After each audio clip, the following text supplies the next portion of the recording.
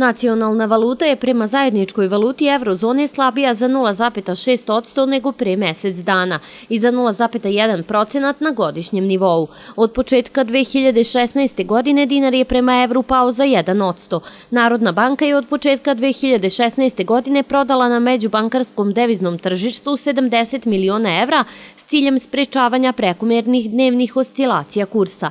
Najniža vrednost dinara prema evru u ovoj godini iznosi danas 18. januara 122,82 dinara, dok je najviša vrednost bila 4. januara 121,51 dinar. Donosimo i detaljniji pregled kursne liste za ponedeljak 18. januar.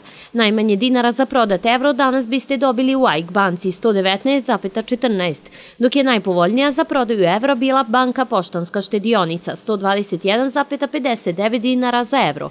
Pri kupovini evropske valute najviše dinara uzimala je EFG banka, 125,90, dok je najpovoljnija za kupovinu bila banka Poštanska štedionica, 123,74 dinara za evro. U menjačnicama u gradu evro je otkupljivan za 122, dok se prodavao za 123,50 dinara. Za američki dolar najviše dinara nudila je Opportunity banka 111,23, dok biste najmanje dinara pri prodaji dolara dobili u Findomestic banci 107,06. Najmanje dinara pri kupovini američke valute trebalo izdvojiti u Opportunity banci 114,17, dok je najviše dinara uzimala banka Inteza 118,34.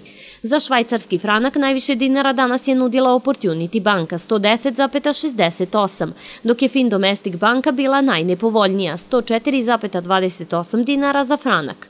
Pri kupovini švajcarca najmanje dinara trebalo izdvojiti u Opportunity banci 113,59, dok je Findomestic banka za 6 dinara i 39 para bila skuplja, 119,98 dinara za franak.